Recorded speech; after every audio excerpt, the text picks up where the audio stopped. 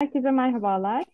E, dördüncü Dijital Eczacılık Zirvesi'ne hepiniz tekrardan hoş geldiniz. E, Eczacının Sesi'ne çok teşekkür ederim bizi de e, davetleri, davet ettikleri için. E, bugün Sefa ile birlikte sizlere dijitalleşme ve geleceğin eczacılığını anlatıyor olacağız. Ben eczacı Ömrüm Ergüven, Trakya Üniversitesi'nden mezunum ve şu an 9 Eylül Üniversitesi Tıp Fakültesi'nde Halk Sağlığı Anabilim dalında doktora yapıyorum.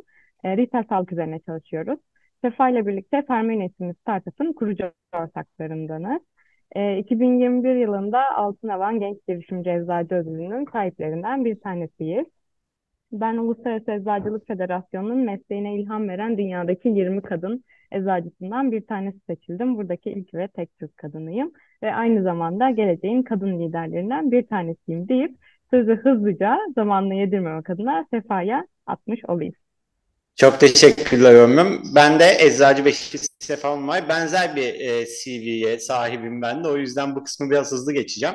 E, ben de Eczacı'nın sesine bizi davet ettikleri için çok teşekkür ederim. Ayrıca e, normalde hepimiz yüz yüze kongrelere aşinayız ve işte oradan oraya koşuştururken gün içinde çok yorulabiliyoruz ve verim de düşebiliyor bazı oturumlarda. E, aslında bir eczacılık kongresinin kalitesini yükseltip ev konforuna taşıma oluyor dijital eczacılık Eczacılık Zirvesi e, ev iş konforu yani oturduğumuz yerden e, kaliteli bir zirveye bağlanabiliyoruz. Bence bu da çok değerli. Bu yüzden tekrar teşekkür edip e, dijitalleşme gibi önemli bir konuyu da e, programa dahil ettikleri için tekrardan teşekkür edip sunuma başlıyorum. Şimdi e, bu sunumu genelde yüz yüze yapıyorduk aslında. Online yaptığımızda bazen defans olduğu için e, çok e, etkileşimli yapamıyoruz ama yüz yüze yapıp bu soru hakkında konuşmayı çok seviyoruz. Neden dijitalleşme ihtiyacını anlamak ve uygulamak zorundayız sorusu. E, şu an tabii soru cevap veya etkileşim yapmamız biraz zor olacak ama herkesin bu soruya kendi cevabını düşünmesini istiyorum. Çünkü e, çok kişisel cevaplar çıkabiliyor bu noktada. E, ben de kendi cevabımı daha doğrusu e, bir eczacı için anlamanın en iyi yolu olan cevabımı söyleyerek başlayacağım işte hepimizin uğruna çeşitli kampanyalar yaptığı, e, üzerine çalıştığı konulardan bir tanesi, Sağlık Bakanlığı'nın da e, üzerinde durduğu konulardan bir tanesi antibiyotik direnci ve e, antibiyotik direnci nasıl başladı diye böyle hikaye olarak bakınca biliyorsunuz antibiyotiklerin tarih kullanımı çok çok da uzak değil. E, 1940'lı yıllar yıllarda bugün günümüzde e, antibiyotikler de basitçe çöze basitçe demeyelim ama en azından çözebildiğimiz bir hastalık olan tüberküloz hastalığının yarattığı karantina sürecini görüyorsunuz bu iki fotoğrafta. Görüntüler İngiltere'den ve e, çocuk hastalarda özellikle yakan, yakalanma oranının çok yüksek olduğu ve e, her dört hastadan bir tanesinin de hayatını kaybettiği kayıtlara geçmiş o dönem. O dönemler bakteriler insanlığa karşı çok güçlü. Çünkü bizim onları yenebilecek bir silahımız yok. Sonra ne oluyor? Antibiyotikler keşfediliyor. İşte penisilin ve e, sonraki antibiyotik hikayeleri. Ve sonra bir koşu yarışı başlıyor aslında. Biz yeni bir antibiyotik ailesi keşfettikçe bakteriler direnç kazanıyor. Biz yeni bir aile keşfediyoruz, bakteriler tekrar direnç kazanıyor. Ve sürekli insanlık ve bakteriler arasında bir koşu başlıyor, bir yarış başlıyor. Ve e, biz en son antibiyotiği, bin, e, antibiyotik ailesini bin, e, 1981 yılında keşfediyoruz. Şimdi o yıldan sonra tabii kombine tedaviler, e, ekstra dozların uygulanması, yüksek dozların uygulanması deneniyor. Ama e, bu bilgiyi aldığın e, bir BBC belgeselinde anlatıcı şöyle diyordu. Profesör bir hoca şunu diyordu. Eğer biz yeni bir antibiyotik ailesi keşfetmezsek önümüzdeki 10 yıl içinde bunu 2020 yılında izlemiştim ben. Önümüzdeki 10 yıl içinde bakteri kaynaklı bir pandemi görmemiz çok e, mümkün diyordu. Bu tabii o zamanlar benim için çok korkutucu olmuştu ama sonrasından tabii pandemi kelimesine karşı olan direncimizi biz de biraz kaybettik. Ama yine de e, böyle bir tehlikenin olduğunu bilmek korkutucu. İnsanlık ve teknoloji yarışı da tam olarak böyle başladı. İnsanlık ve dijitalleşme. Dijitalleşme başta insan aklının alabileceği seviyelerde başladı. Ama sonra e, teknoloji arttı, biz onu anlamaya çalıştık. Teknoloji yükseldi, biz onu anlamaya e, çalıştık. Teknoloji tekrar yükseldi, biz anlamaya başladık. Ama özellikle son iki yıldaki teknolojik gelişmeler artık e, insan aklını da geçebilecek yetenekte teknolojiler gelmeye başlıyor. Ve e, bu da bizim bu dijitalleşme ihtiyacını anlama zorunluluğumuzun asla kesilmediğinin bir göstergesi. Antibiyotiklerle ilgili şöyle bir karikatür var. Son 10 yılda antibiyotiklerin ne kadar güçlendiğini gösteren bir karikatür. E, bu da Yine bu alana neden dikkat etmemiz gerektiğini, teknolojinin ileride bizi nasıl dövebilecek seviyeye geleceğini bize gösteren bir unsur aslında. Ve e, bunun tam olarak dijitalleşmenin tüm meslekler için bir doğal seçilim olacağını söyleyebiliriz. Gerçekten e, doğal seçilimle eğer biz teknolojik kaslarımızı geliştiremezsek doğal seçilimle elenen tarafta olabiliriz. Bu eczacılık mesleği için de geçerli. E, neredeyse şu an yürürlükte olan bütün meslekler için böyle bir şeyin olduğu, böyle bir konunun olduğundan söz edebiliriz. Bir de şöyle bir şey var. Dünya genelinde bu işle ilgilenen, bu konuyla ilgilenen, bu konuyu konuşan insan sayısı gitgide artıyor. Şu an ekranda gördüğünüz informatikte şöyle bir şey var. Diyor ki 106 tane sağlık alanında yapay zeka kullanan startup ve bunlar bir yıl içinde unicorn olmuş startuplar. İşte e, maviyle gördüğünüz yazılar e, bunların temaları yani hangi konsept, hangi alanda çalıştıkları ve toplam işte ona yakın alan ve 106 tane startup var. Bu 2020 yılıydı. Aynısının 2021 yılına baktığımız zaman startup sayısı 150'ye çıkıyor ve alan sayısının da arttığını görüyoruz. Şimdi aynısının bir de 2022'sini incelediğimiz zaman bu defa unicorn değil decacorn olmuş. Yani şirket değeri 10 milyon dolayı geçmiş olan startuplara bakıyoruz ve orada da şöyle bir şey görüyoruz. Yine sayıyı 150 ile sınırlandırmışlar. 150'nin üzerine çıkmamışlar. Bu her yıl yayınlanan bir şey ve e, alt alan sayısının daha fazla arttığını, her geçen gün daha fazla insanın bu konu hakkında ve daha yüksek e, kabiliyetle konuştuğunu görüyoruz ve bu alanda her geçen gün daha fazla alt başlık üretiliyor. Bu ne demek? Önceden sadece bir ağacın gövdesiyken bu ağacın yapraklara doğru dallandığını, yapraklara kadar artık bu konuların konuşulduğunu, gitgide daha fazla e, dalda bu alanın konuşulduğunu görüyoruz. Yani aslında mevcut işleyişte önceden sadece bir iki alanda gördüğümüz mevcut eczacılık işleyişinden bahsedebiliriz burada. Sadece bir iki alanda gördüğümüz dijitalleşme sinyalleri artık eczacılığın neredeyse her alanında karşımıza çıkıyor çok güzel bir görsel çünkü aslında biz mevcut düzende ya da mevcut bilgilerimizle o büyük değişimlerle savaşamıyoruz yani hepimizin nasıl dağıldığını gördük ve tek e, çaremiz aslında elimizi yıkamaktı belki o dönemler. Bunu eleştiren bir görsel bu. Ama bunun yanında işte iklim değişikliği gibi büyük şeyler, göç e, göçmen krizleri gibi, e, sağlıktaki değişim gibi farklı başlıklar geliyor. Biz nasıl bir dönemdeyiz? Eskinin yıkıldığını görebiliyoruz. Yani eski düzenin artık devam edemeyecek seviyede olduğunu biliyoruz. Ancak yeniyi de henüz kuramadığımız bir dönemdeyiz. Bu yüzden tam bu dönem dijitalleşmeyi anlamak, bu yeniyi nasıl kuracağımızı anlamak için güzel bir e, adım olabilir ve aslında tüm bu süreçler devrimlerden ve değişimlerden geliyor ve devrimler ve değişimler sürekli olarak bizim hayatımızın tam merkezinde olan şeyler diyebiliriz. Şimdi devrimleri ve değişimleri anlamak için yani hayatın akışını anlamak için aslında e, bu sistemin nereden geldiğini anlamak lazım. Yazılar biraz kaymış kusura bakmayın yazı fontu e, uyumsuzluğu yaşadık sunum bilgisayarıyla. Ama e, bu görsel şunu anlatıyor. Şimdi 1712 Endüstri 1.0 yani birinci sanayi devrimi henüz yokken insanlık ne yapıyordu? İnsanlık bütün işleri kendi kas gücüyle veya e, hayvan gücüyle diyelim kendi yapmaya çalışıyordu. Ama 1712'de ilk defa buhar gücü keşfedildi ve insanlığa bir mesaj geldi aslında orada. İnsan olarak her şeyi siz yapmak zorunda değilsiniz. Bazı şeyleri yöneten tarafa geçebilirsiniz ve e, sizin kullanacağınız o mekanik güç, buhar gücü sizin elinize bazı şeyleri yapabilir dendi doğa tarafından insanla. Daha sonra ne oldu? İşte ikinci sanayi devriminde elektrik enerjisi, üçüncü sanayi devriminde bilgisayarlı sistemler, en son 2011 yılında kayıtlara geçen son sanayi devrimi olan ve yapay zekanın, IoT gibi teknolojilerin, gerçeklik teknolojilerinin e, iş endüstrisinde kullanımıyla Endüstri 4.0 çağını yaşıyoruz ve Endüstri 4.0'ın da her sektörde yansımaları var. Biz bugün e, sunumun ikinci kısmında Örmün bize Endüstri 4.0 ile ilgili, e, Eczacılık 4.0 ile ilgili olan kısmı anlatacak. Ama bu noktada ilgi çeken bir tane daha veri var. Ben bu sunumu e, yaklaşık 100 defa yaptım. Hep bu 4-0'da bitiyordu ama artık 4-0'da değil bir adım ötesiyle bitiriyorum. O da e, son dönem açıklanan aslında 2023'ten beri bizim hayatımıza giren ama çok hızlı bir giriş yapan Generative AI üretken yapay zeka teknolojisi. Henüz Endüstri 5.0 demek için erken ama 4.5 diyebileceğimiz ve e, farklı firmaların farklı ürünleriyle birlikte hepimizin hayatının ta içine kadar giren bir teknolojiden de söz etmek mümkün. Şimdi sanayi devrimlerini ve değişimleri araştırırken şöyle bir görsel buldum. Bu görsel e, Chris Sunde diye bir e, koleksiyoncunun e, sanayi devrimleri ve insanlık e, isimli bir e, serisinden alınma, bir e, fotoğraf albümünden alınma bir görsel. Bu görselde birinci sanayi devriminin insanlık üzerindeki etkisini anlatıyor. Burada gördüğünüz insanlar birinci sanayi devrimindeki o buhar gücünü kabul edemiyorlar, etmiyorlar ve makineleri kırmaya çalışıyorlar. Bu ne demek? Mevcut değişimlerin o insanları işsiz bırakacaklarını düşündükleri için bu insanlar yeniliğe karşı direnç gösteriyorlar. Aslında günümüzdeki eczacılık anlayışında da buna benzer bir yaklaşım görebiliyoruz. Bazen eczacılıktaki o çok pratik değişmeler bazen o kadar korkutucu geliyor ki mevcut eczacılık sistemine biz onu kabul etmekte zorlanabiliyoruz ama değişim bir şekilde geliyor.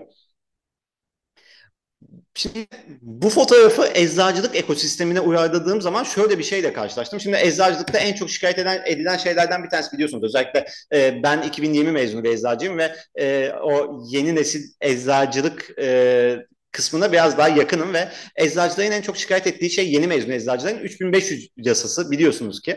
Ama e, tarihe baktığımızda ilk olarak 1927'de her 10 bin ez, kişiye bir eczacı şeklinde bir sınırlama konulmuş mesela ve tarihteki ilk eczacılık yasasında böyle bir sınır var ve sonra e, 90 eczane kapatılıyor bu sınırlama yüzünden ve o kapatılan 90 eczane ayaklanıyor ve o dönemde eczacılıkta işte e, büyük kavgalar çıkıyor. Daha sonra ne oluyor? 1952'de bugün hala kullandığımız o 6197 sayılı kanunda e, eczane sınırlaması yani 10 bin kişiye bir eczane kuralı ortalıktan kal, e, yasadan kaldırılıyor ve eczane açma serbest bırakılıyor. Bu sefer de mevcut eczacılar eczane sayısı bir anda çok fazla arttı diye ayaklanıyorlar. Bir, e, bir, 1955 yılındaki gazete haberini görüyorsunuz. İşte 160 162'den 235'e çıkmasıyla ilgili bir haber yapılmış.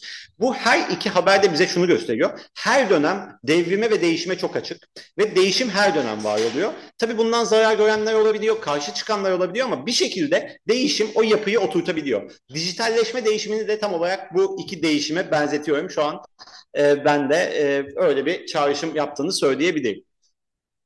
Şimdi e, eczacılık değişiyor dedik. Eczacılık 4.0'ya dedik. Bir eczacının yaptığı iş bilimde. Önce bilimdeki değişimi anlamak lazım. Bilimdeki değişime de biz bilim 4.0 demiyoruz. Çünkü bilimdeki kalıplar biraz daha zor ama bilim 2.0 diyoruz. Ve bilim 2.0 bize şunu diyor. Bütün bilimsel gelişmeler, eczacılığın da bir bilim olduğunu bu noktada aklınızda tutun lütfen. Bütün bilimsel gelişmeler mutlaka yanına ya girişimciliği ya da teknolojiyi almalıdır. Yani eğer işin ortasında bilimden bahsedilen bir şey varsa bu bilim ya girişimcilikle ya da teknolojiyle ya da her ikisiyle birden iç içe olmalıdır diyor bize nesil bilim. Şimdi bunu cebimizde tutalım bu bilgiyi. Bir Endüstri 4.0 çağında yani şu an mevcutta yaşadığımızı düşündüğümüz çağda girişimciliğin bazı alt başlıkları var. İşte her zaman yeni şeyler e, konuşmak zorundayız. Kendi kapımızın önünü temizlemeliyiz.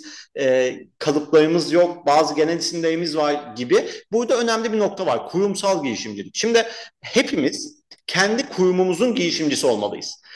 Kurumsal girişimcilik yeni nesil girişimcilik diye anlatılıyor ve şöyle de bir alt başlığı var. Firmalar veya çatı kuruluşları için iç destekli girişimcilik modelidir ve yeni fikirlerin %60'a yakını kurumsal girişimcilik ürünüdür.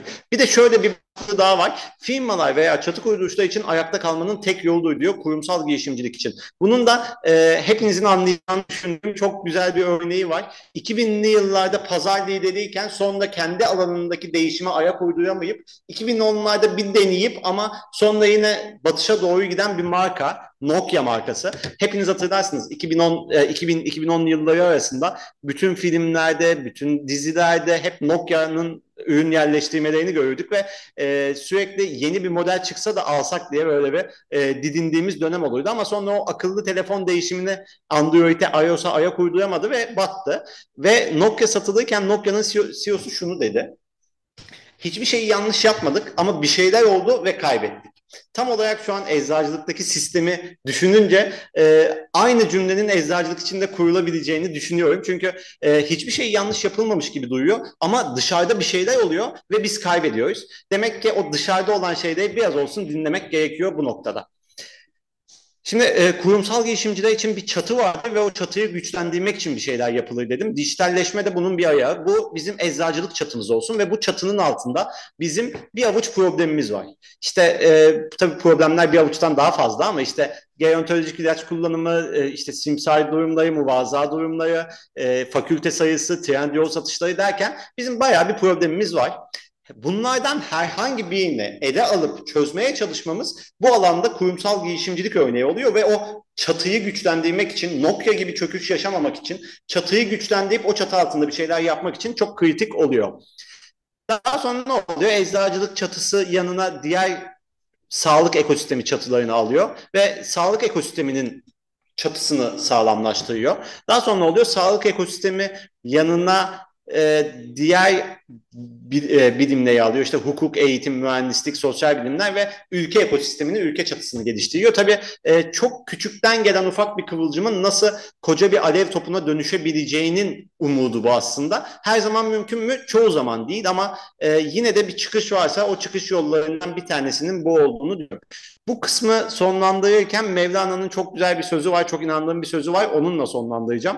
Mevlana bir şiirinde diyor ki, dünle beraber gitti cancağızım ne kadar söz varsa düne ait. Şimdi yeni şeyler söylemek lazım. Peki çok güzel ama o yeni şeyleri nasıl söyleyeceğiz? Kısmını da e, sevgili ortağım Örmü Mergüven'e bırakıyorum. Çok teşekkür ederim Sefacığım. Ağzına sağlık. Çok güzel anlattın. Ee, ben de biraz size teknolojilerden ve bu teknolojilerin mesleğimizde nasıl kullanıldığından günümüzde bizim Türkiye'de neler yapabileceğimizden biraz bahsedeceğim. Yıkıcı teknolojiler dediğimiz teknolojiler var. Sefa da bahsetti. Endüstri 4.0'ın getirisi olarak kendinden bir önceki teknolojiyi çok hızlı bir şekilde yok edebilen ve yerine alabilen teknolojilere biz yıkıcı teknolojiler diyoruz. Yapay zekayı çok sık duyuyoruz özellikle 5 yıldır, 5-6 yıldır ama 1950 yılında başlayan bir teknoloji. GPT teknolojilerini duyuyoruz, oyunlaştırma teknolojilerini duyuyoruz. Bunlar yıkıcı teknolojilerimiz oluyor. Geçebiliriz Sefa. Şimdi ülkemizde şöyle bir karar alındı yapay zekaya dair. Daha çok yapay zeka üzerinden gideceğiz bu sunumun devamında da e, mesleğimizde kullanılması adına. E, çok güzel bir gelişme oldu ülkemizde. Bilmiyorum belki aramızda takip edenler olmuştur. Ulusal yapay zeka strateji belirledi ülkemiz. 2021 ve 2025 yılları arasında çok güzel veriler var orada sağlığa dair. Onları paylaşacağım sizlerle. Öncelikle yapay zekanın en çok kullanıldığı, en çok kullanılacağı alanlar belirlendi ve bu alanlardan bir tanesi de sağlık bilimleri. Bu bize sağlık bilimlerinde ne kadar fazla e, boş alan olduğunu hatırlatıyor aslında yapay zekanın kullanılabilmesine dair. E, kritik alanlardan bir tanesi. Geçebiliriz e, Sefacığım. E, Özellikle dikkatimi çekmek istediğim bir şey daha var. İş gücünün değişmeleri. Yani biz e, yapay zeka ile dünya çapında nasıl bir iş, yüzdelik olarak iş gücü değişimi göreceğiz? Bakın sağlığı görebilirsiniz şurada altta. Yüzde otuz altıya varan bir e, değişim gösterileceği, daha makineleşeceği ve duygusal zekaya, e, hastayı anlamaya dair zekaya daha fazla ihtiyaç duyulacağı e, gözetiliyor. Yani aslında bu raporda ben şunu anlamak istiyorum e, bize hep böyle teknoloji anlattığımızda şey soruluyor. Mesleğimizi elimizden mi alacaksınız?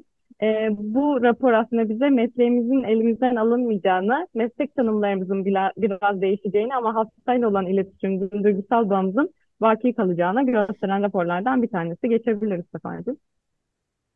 E, şimdi ben böyle özellikle Sefa ile birlikte yapay zeka ilgi duymaya başladığımız andan itibaren bu konuları çok fazla araştırıyor olduk. Özellikle dünyada neler yapılıyor. Çünkü ülkemizi geliştirmemiz adına dünyayı takip etmemiz gerekiyor.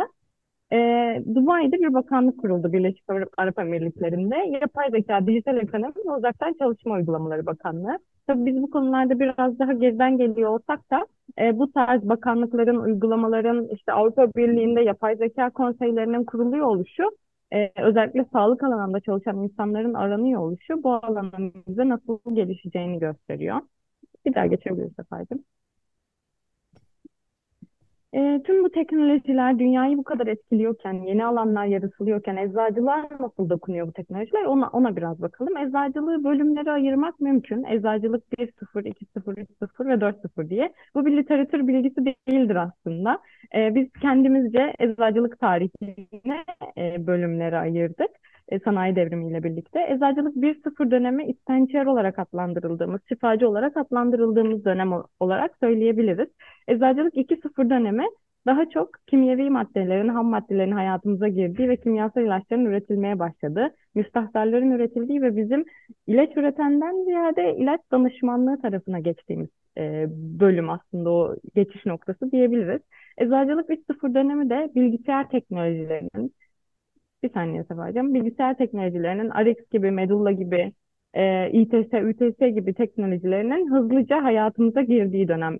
E-nabızı da bu bir parça eczacılık 3.0 dönemine sayabiliriz. Ama eczacılık 4.0 dönemi az önce bahsettiğimiz yıkıcı teknolojiler, yapay zeka, oyunlaştırma gibi teknolojilerin mesleğimizde hastalar ve sağlık profesyonelleri adına kullanılması için e, gelinen dönem aslında. Şimdi bakalım Eczacılık 4.0 döneminde hangi e, teknolojilerden ve konulardan bahsediliyor. Bir, bir daha geçebiliriz. Eczacılık 4.0 döneminde çalışılan çok fazla konu var e, ve e, hepsiyle yakından uzaktan ilgilenebilirsiniz bence. Çünkü gerçekten konumuz çok fazla. Mesela üç boyutlu yazıcılar mutlaka duymuşuzdur. Ben üç boyutlu yazıları duymayan olduğunu düşünmüyorum. Mesleğimizde nasıl kullanılıyor? Artık üç boyutlu yazıcılarla vitaminler, ilaçlar basılabiliyor ve bunu FDA onaylayabiliyor. Bu bir makale. FDA 3 boyutlu yazıcıyla e, basılan bir ilacı e, onayladı arkadaşlar ve artık bu e, saatten sonra bu örneklerin de artacağını öngörebiliyoruz. Aynı zamanda medikal cihazlar için de geçerli. Nasıl ilaç üretiminde biz e, bir proses takip ediyorsak ilacı üretebilmek adına medikal cihazlar için de e, üç boyutlu yazıcıyla basılabilmesi için prosesler yaratıldı ve FDA'nin sitesine girdiğinizde bu prosesleri e, bulup e, üretebiliyorsunuz medikal cihazlarınızdan. İlaçları da aynı şekilde geçebiliriz sefer. Gerçeklik teknolojileri sanal gerçeklik ve arttırılmış gerçeklik olarak ayırabiliriz biz bu teknolojileri. Sanal gerçeklik teknolojisi e, sanal gerçeklik gözlüğünü taktığımız ve sanal bir ortamda bulunduğumuz e, teknoloji aslında ve FDA yine e, bir hastalığın tedavisinde sanal gerçeklik gözlüğünü onayladı. Bu şu demek, e, şu an nasıl hekim reçete yazıp eczaneden hasta bu ilacı alabiliyorsa, hekim e, sanal gerçeklik gözlüğünü reçete edip eczaneden alabilecek duruma gelecek hastalar. Yani biz ileride raflarımızda belki sanal gerçeklik gözlüklerine yer vereceğiz demek oluyor. Yine aynı şekilde FDA'nin sitesinde araştırabilirsiniz. İnsan omik projelerle ilgili omik teknolojiler ve insan genom projelerine hiç girmeyeceğim. O Eczacılık 4.0'ın artık genetikle ilgilenen bir alanı. Bizim en çok serbest eczacılıkta gördüğümüz Eczacılık 4.0 döneminde konuşulan sürekli erişim ve kişiselleştirilmiş kullanım ve aynı zamanda GPT teknolojileri olarak sayabiliriz. Biraz örneklerden bahsetmek istiyorum sizlere. E, Pilpek'i belki daha önce duymuşsunuzdur. Pilpek'i duymadıysanız Amazon'u mutlaka duymuşsunuzdur. Pilpek Amazon'un bir eczanenin yaptığı bir uygulama. E, hep birlikte videoyu izleyelim sonra birlikte yorumlarız. PillPack is a new kind of pharmacy. We package your medication and deliver it directly to your door. All you have to do is tear and take your next dose. Managing your medication has never been easier. Here's how it works. Each month, we'll sort your meds, including any vitamins and OTCs, into easy to open packets. Need other items like inhalers, creams, or testing supplies? We can send those too. We'll work directly with your doctors and insurance to resolve any issues. We'll adjust your medication if your prescriptions change, and we'll automatically handle all of your refills so you never have to worry. If you have questions or need to make an update, our pharmacists are available 24 7. Getting started is easy. You'll need your insurance information and a list of current medications. From there, we'll handle the rest. We'll verify your account and transfer your prescriptions to our pharmacy. You'll receive your first package in just a few weeks. Now, you'll never sort your pills, never stand in line at a pharmacy, and never miss your medication again. It's your medication made easy. Evet gördüğünüz gibi hani şey kelimesine dikkat etmişsinizdir. 7-24 ulaşabilirsiniz eczacınıza kısmına. Dikkat etmişsinizdir. Artık bu sistemler çok yaygın bir şekilde kullanılıyor e, tüm dünyada. E, ve Amazon'un Türkiye'de de eczane ile ilgili bir ruhsatı var artık ve bu konuda çalıştıklarını da biliyoruz. Önemli olan bu tarz sistemleri eğer dünya bu tarafa doğru gidiyorsa regülasyonlarını eczacılardan oluşan grupların yapabiliyor ve etik değerlerimizi, mesleki etik değerlerimizi koruyabiliyor olmamız geçebilir Sefacığım. Covid-19 döneminde yapay zeka çok güzel kullanıldı. Ee, bu da onun örneklerinden bir tanesi. Sağlığa ve hastaya katkı sağlayan örneklerden bir tanesi. Biliyorsunuz biz Covid-19 döneminde hangi ilacı nasıl kullanacağımızı çok fazla bilemedik klinikte. Hekimler de bilemedi ve e, yapay zekaya antivirallerin kombinasyonu soruldu. En iyi kombinasyon bu virüs, virüs tanıtıldı önce yapay zekaya. Hangisidir da, e, daha iyi kombinasyon diye sordu ve iki ilacı önerdi. O ilaç klinikte denenince e, gerçekten o ikili kombinasyonun COVID tedavisinde kullanılabileceği görüldü ve bununla ilgili makale çalışmaları yapıldı. Bu da yapay zekanın kullanıldığı alanlardan bir tanesi mesleğimizde. Akılcı ilaç kullanımında biz yapay zekayı kullanabiliyoruz. Bu da verimli uygulamalardan bir tanesi. E, araştırabilirsiniz yine aynı şekilde internetten. Özellikle yaşlı hastalar için kullanıma çok uygun. İlacınızı e, tanıttığınızda yapay zekaya o sizin ilacınızı artık tanıyor ve sizin e, saatlerinizi takip ederek ilacı almış, alıp almadığınızı kontrol ediyor. Siz aynı şekilde ağzınıza atarken e, göstermek durumunda kalıyorsunuz. Ve bu şekilde kendi takiplerinizi yapabiliyorsunuz ilaç takiplerinizi. Bu bizim yaptığımız bir uygulama. Halk sağlığında doktora yaptığımızı söylemiştik. Ee, yine kadın sağlığında ChatGPT yani GPT teknolojilerinin kullanılmasına dair. Burada herhangi bir e, ilaç yönlendirmesi ya da herhangi bir e, önemli yani malpraktis yaratabilecek bir yönlendirme yok. Sadece tavsiyelerle doğru hekime yönlendirme ve eczacıya yönlendirme şeklinde yürüyen kadınların kendi sağlıklarını yönetebilmesi adına yaptığımız bir uygulama. Şu an e, yazılım aşamasındayız. Aynı zamanda bu GPT teknolojisi e, kadın sağlığı dışında sorduğumuz hiçbir şeye cevap vermiyor. Ben bir kadın sağlığı uygulamasıyım diyor, uygulamasıyım diyor. Anahtar kelimelerle bunu yapmayı başarabildik. Bu da GPT'ye örneklerden bir tanesi. Şimdi bunları anlatınca size şey düşünmüş olabilirsiniz. Ya bu kadar insanın akıllı telefona erişimi var mı? Ya da işte günümüz tamam bu teknolojiler dünyada bu kadar yaygın ama Türkiye'de durum ne olacak? E, Mobil Ekonomi Derneği diye bir dernek var ve her yıl farklı raporlar yayınlanıyor. Bu rapora göre tüm dünyada 2030 yılında akıllı telefon kullanımının %92'ye çıkacağı. Türkiye'de ise bu oran şöyle, geçebiliriz efendim. E, Türkiye'de ise 2025 yılında %90'a varan bir akıllı telefon kullanımının olacağı söyleniyor. Bu şu demek aslında. E, artık hasta ve müşterilerimiz akıllı telefonlarda. Bizler eğer eczacılar en yakın sağlık danışmanıysak toplumun, toplum neredeyse orada olmamız gerekiyor. Bize bu raporlar bunu gösteriyor. Yani biz de artık biraz daha dijitalde olabilmeli, hastaya daha yakın temas kurabilmeli çünkü dijital sağlık okuryazarlığı da artık çok önemli konulardan biri haline gelecek. Geçebiliriz efendim. Şimdi tüm dünyada durum nasıl? Ben size biraz bunları anlatmak istiyorum. E, çünkü önemli olduğunu düşünüyorum dünyayı takip etmenin. Oxford Üniversitesi'nde dijital sağlıkla ilgili çok ciddi bir kurum var ve burada tamamen topluma yönelik ve e, sağlık profesyonellerinin yönelik ciddi sağlık projeleri, dijital sağlık projeleri yönetiliyor dijital sağlık biriminde.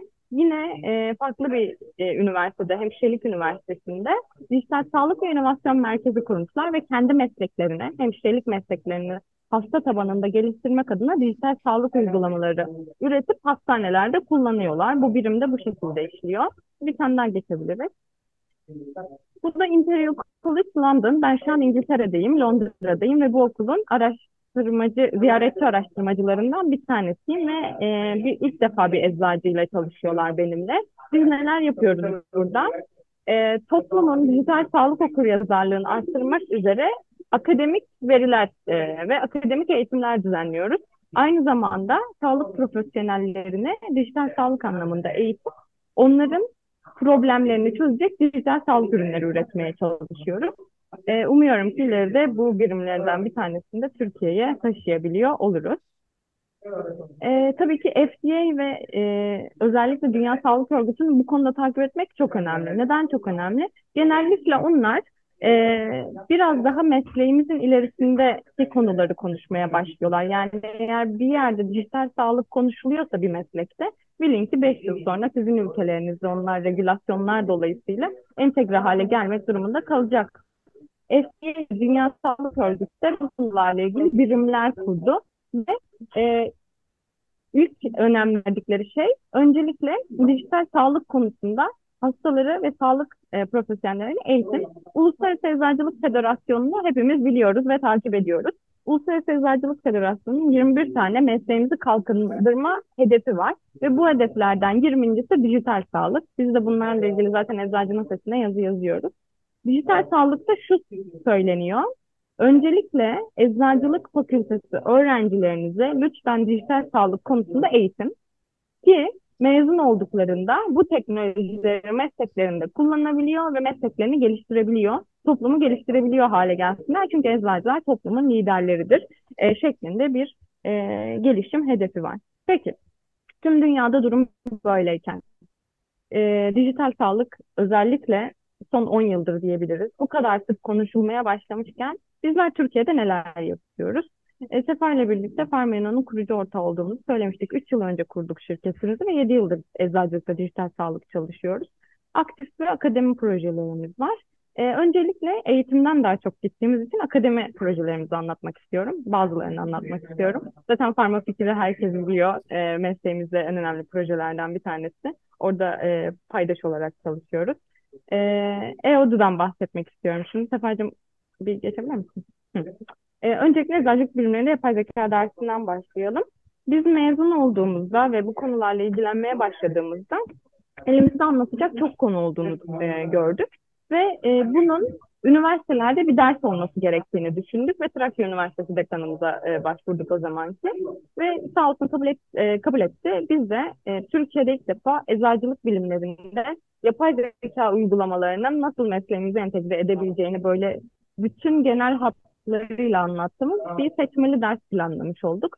Şu an İstanbul Üniversitesi, Marmara Üniversitesi, Trakya Üniversitesi'nde aktif olarak işlenen bir ders haline geldi. Üç yıldır da bu dersi vermeye devam ediyoruz. Ee, bu da bizim eza, özellikle e, eczacılık fakültesi ve eczane eczacılarına yönelik e, eczanelerinde teknolojiyi nasıl kullanabilirler, dijital, nasıl dijitalleşebilirler, hem yönetimde hem hasta iletişiminde. Bütün bu bahsettiğimiz az önce var olan teknolojiyi nasıl kullanıp hangi uygulamaları alsalar daha verimli olurlar, bunu anlattığımız bir eğitim programı tasarladık. Ve şu an e, Parmino'daki amaçlarımızdan bir tanesi de kendi sektörümüzü ve kendi meslektaşlarımızı bu konuda eğitip verimli mesleklerini daha bir hale getirmelerini sağlayabilmek. E, aktif projelerimizden bahsetmiştim eğitim projelerimizin yanında. E, bilişim projeleri de üretiyoruz biz Dermain olarak. Bu bizim Dermain Derma Kozmetik Okulu ile birlikte yaptığımız Dermain isimli uygulamamız. E, bu uygulamada yapay zeka modülü kullanıyoruz. Ne yapıyoruz yapay zekada? Hastanız eczaneye geldiğinde 10-15 arası bir soru cevaplıyor ve sizin ekranınıza yani eczacının ya da e, eczane personelinin ekranına o hastaya en uygun ürün e, önerilmesi gerçekleştiriliyor. E, ve böylece yapay zeka hasta, hastanın cilt tipine en uygun ürünü size önerebiliyor. Yani hasta görmüyor, siz görüyorsunuz sadece ve kullanımını anlatarak e, danışmanlık yapabiliyorsunuz. Böyle yapay zekayı kullandığımız ilaç dışı ürünlerde bir uygulamamız da mevcut. Ve bunun tüm ilaç dışı ürünlerde gerçekleştirmeyi düşünüyoruz. Son olarak e, zamanımızı aşmamışızdır umarım biz konuşmayı çok sevdiğimiz Sefer'le birlikte. E, bitirirken Refik Saydam'ın bir sözünden bahsetmek istiyorum. E, eczacılık ne un ticaretidir, ne üzüm ticaretidir, ne de sirke ticaretidir. Bir sanattır. Eczacılık bir ilimdir. Hastaya bakmak ilminin bir şubesidir. Bundan dolayı eczane hiçbir memlekette doğrudan doğruya bir ticaret müessesesi telakki edilmemiştir. Çünkü bütün bir memleketin hepimizin hayat ve sıhhatine ait bir meseledir diyor Refik Saydam. Biz bu sözünü çok seviyoruz e, Refik Saydam'ın. E, eczacılık bir sanat. E, meslek tanımlarımız değişebilir e, ve değişecektir de çağın getirisi olarak. Çünkü gördüğümüz üzere bu eczacılık 1.0'dan başlayarak olan dönemde hep meslek tanımlarımız değişmiş. Ama eczacı hep baki kalmış.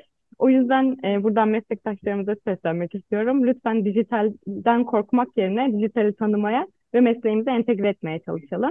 E, biz onu yenemezsek çünkü o bize evet bir gün yenebilir deyip sözü bitirmesi için Sefa'ya bırakayım. Evet, çok teşekkür ederim. Yine çok güzel bir anlatım oldu işin dijitalleşme boyutuyla ilgili. 1927'de e, ilk eczacılık yasası, Cumhuriyet tarihinin ilk eczacılık yasasını çıkartan e, o dönemin Sağlık Bakanı, e, Türkiye Cumhuriyeti'nde ikinci Sağlık Bakanı Refik Saydam'ın bu sözü aslında bir eczacının meslek hayatı boyunca nerede durması gerektiğini çok iyi anlatıyor. O söze ithafen son söz olarak ben de şöyle bir kapanış yapmak istiyorum. Limandaki bir gemi güvendedir ancak gemiler bunun için yapılmaz demiş John Shit. E, biz şu an mevcut düzeniyle, mevcut haliyle eczacılığı güvende hissediyor olabiliriz ancak eczacılığın ne için yapıldığını, eczacılığın neden var olduğunu tekrar düşünmemizde fayda olduğunu düşünüyorum. Bizi dinlediğiniz için çok teşekkür ederiz. Bütün sosyal medya hesaplarından bize her zaman ulaşabilirsiniz. Birlikte çalışmak, birlikte e, yeni projelerde bulunmak, e, eğitimlerimize katılmak, projelerimizden haberdar olmak için de takip etmenizi tavsiye ederiz. Tekrardan dinlediğiniz için çok teşekkür ederim.